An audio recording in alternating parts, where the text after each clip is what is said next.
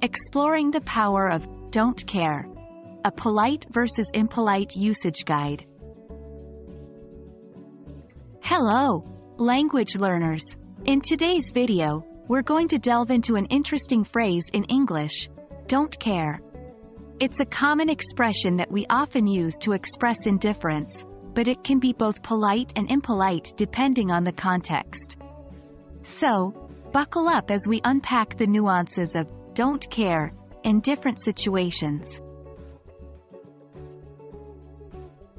To start off, let's understand what don't care means. When you say you don't care, you're essentially saying that you have no strong feelings or preference about something. This phrase can be used in both formal and informal conversations. Example, who's going to win the match? I don't care. Here, the speaker expresses indifference towards the outcome of the match. But remember, the tone of voice and the situation are very crucial in interpreting the phrase. Now, you might be wondering, how can don't care be used politely? Well, it's all about context and phrasing. A polite usage of don't care often comes in handy when you're trying to be flexible or accommodating. For example, which restaurant should we go to? I don't care. You can pick. In this situation, don't care is a polite way of saying that the speaker is open to any restaurant choice. This expresses flexibility and consideration for the other person's preference.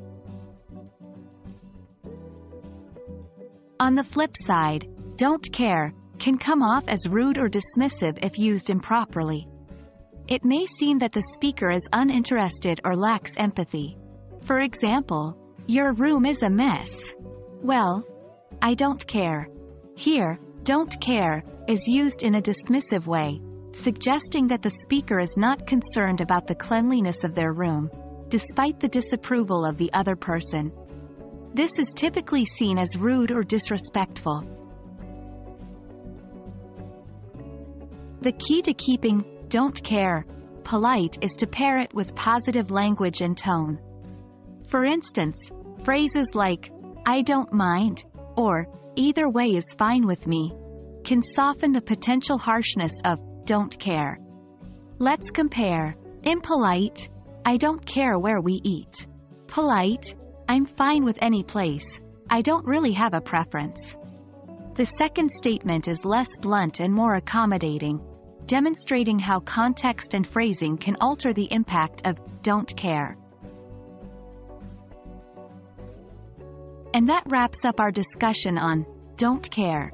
Remember, the secret to using don't care politely is all about the context, your tone of voice, and accompanying language.